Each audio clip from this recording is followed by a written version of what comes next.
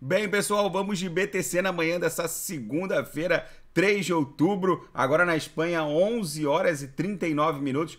No Brasil, 6 e 39 da manhã. No Brasil, ainda de ressaca das eleições. A BTC andou nervosinha nessa, nessa virada de VWAP de domingo para segunda, já que o Federal Reserve convocou uma reunião de emergência que vai acontecer às 11 horas e 30 minutos dessa segunda-feira, 3 de outubro, no horário do leste norte-americano, no horário de Nova York. Vamos ver o que, que vai sair dessa reunião. Eu já já vou analisar é, as notícias macroeconômicas, mas chegam informações no sentido de que alguns gestores de fundos é, não tão prudentes, talvez até super alavancados, principalmente gestores de fundos de previdência no Reino Unido e nos Estados Unidos, começam a pedir água é nessa hora que se o Fed colocar o pé no freio, a BTC vai explodir. Gente, a gente segue aqui acumulando na aresta inferior da nossa cunha triangular. A gente está com uma leve dificuldade de superar a mediana do canal de Keltner, que está exatamente em 19.550. Se a gente superar, a gente vai bater na base da nuvem, que se confunde com a extensão da aresta superior dessa cunha triangular. Vocês vejam que no intraday quando teve a confirmação dessa reunião de emergência, a, a BTC ficou um pouco nervosa. Chegamos a fazer a mínima em 18.922. Chegou a bater a mínima na madrugada de 2 para 3 em 18.920, mas rapidamente ela voltou para um patamar acima de 19 mil. Na nossa banda de VWAP mensal, a gente abriu o segundo candle aqui no diário, que está desenhando uma banda bem tímida ainda, com as duas linhas muito tímidas. Ainda não dá para classificar essa banda é, como volátil ou não volátil, já que a gente está simplesmente ainda desenhando o patamar em que vai ser trabalhada a BTC no mês de outubro. No intraday, como eu reportei, a BTC está absolutamente didática, está lambendo a lower, voltando para VWAP. Na virada ficou volátil, a gente lambeu a upper, voltou para VWAP, ameaçamos lamber a lower, voltamos para VWAP. Agora, há poucas horas atrás, a gente lambeu a upper, voltamos para a VWAP e agora a gente segue é, orbitando o patamar da própria VWAP no intraday. Daqui a pouco eu vou ofertar os sinais, com certeza vão fechar rapidamente, porque a BTC tá um reloginho e na Seara fática. Bitcoin se mantém estável no patamar de 19 mil dólares, mesmo depois da confirmação dessa reunião de emergência do Banco Central norte-americano. A semana passada foi relativamente tranquila e agora a gente já começa com, esse, com esses solavancos. Aqui está a página do Federal Reserve confirmando a reunião para as 11 horas e 30 minutos dessa segunda-feira. Vamos ver o que vai sair dessa reunião.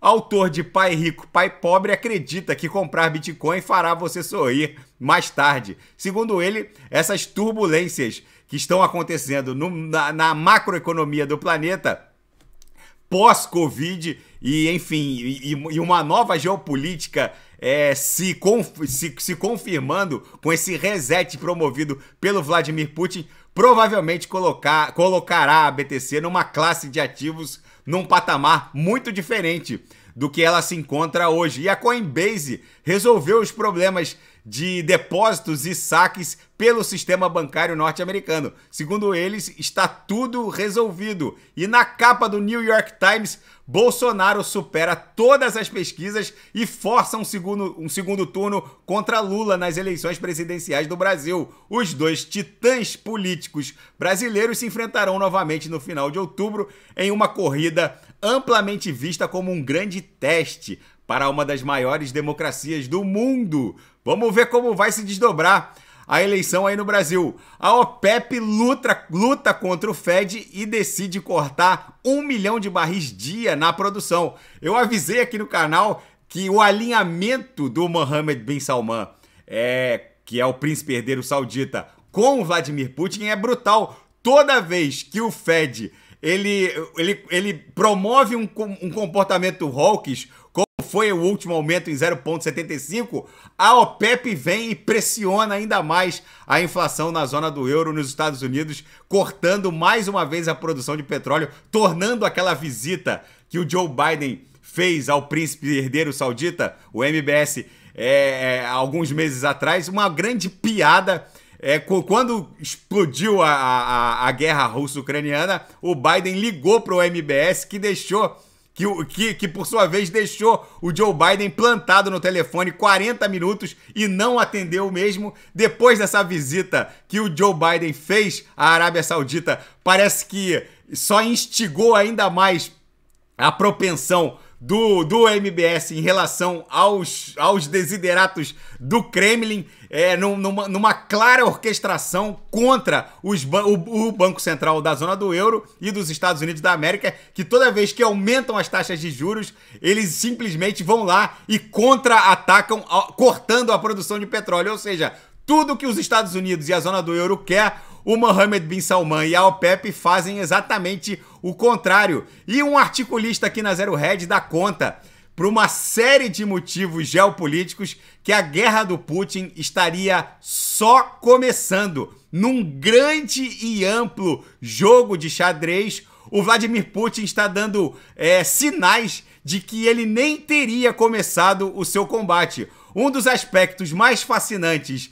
dessa guerra russo-ucraniana, segundo esse analista, é a extensão com que a Rússia conseguiu destruir o equipamento militar da OTAN sem travar uma guerra direta com as forças da OTAN.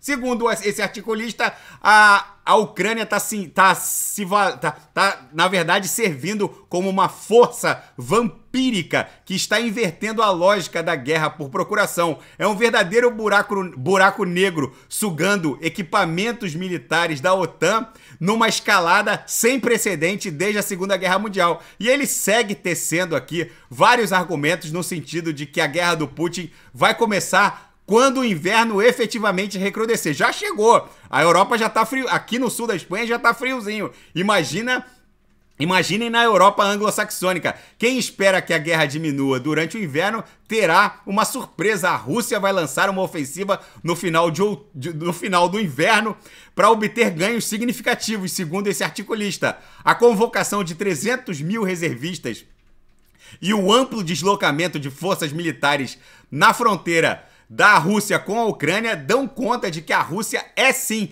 perfeitamente capaz de realizar operações militares complexas e eficazes na neve. É, como um retorno no tempo, na Segunda Guerra Mundial, o Exército Vermelho foi mais do que capaz no seu, ofens... no, seu... na sua ofensiva de sucesso, é... começando em 1941, em que Moscou mostrou o poder do, do, do, do, da, do Exército Vermelho na, na fatídica Guerra de Stalingrado, em que eles venceram as forças nazistas. Enfim, não dá para comparar é, um, uma guerra que aconteceu é, na, na, primeira metade do século XX com uma, uma escalada militar em pleno, em pleno 2022. Mas o fato é que muitas pedras nesse tabuleiro estão se mexendo para efetivamente dar conta de que o Putin é, tem alguma Kinder surpresinha para o inverno europeu que está se aproximando. Vamos ver o que, que vai acontecer. Esse analista dá conta de que o combate, na verdade, vai começar a partir de agora. Ele cita aí uma série de eventos que sustentam essa teoria. Vamos ver. Esperamos, sinceramente, que o mundo veja paz o quanto antes. E o Federal Reserve está quebrando as coisas. Segundo esse analista da CNBC, os mercados estão entrando numa fase perigosa. A venda de ações recebe a maioria das manchetes, mas é nas oscilações e interações dos mercados globais de divisas e de títulos que moram o perigo. Gestores de fundos, principalmente de previdência, que tenham alavancado minimamente podem ver as coisas quebrando. O Fed está quebrando tudo não há realmente nada histórico que você possa apontar para o que está acontecendo nos mercados hoje. Estamos vendo vários movimentos de desvio padrão, como coroa sueca, títulos soberanos, petróleo, prata e ouro todos os dias, que não são movimentos saudáveis.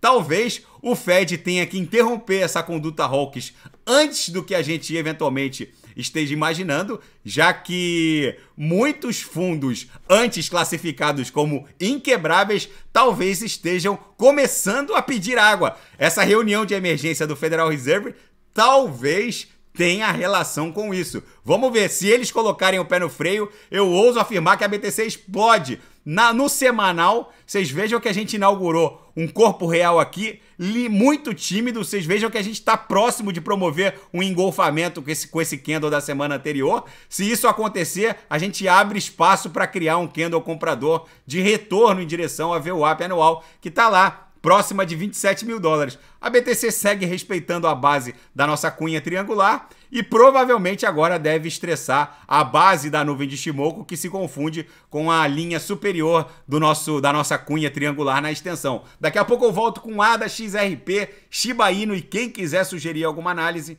é só colocar nas mensagens abaixo. Grande abraço, até daqui a pouco.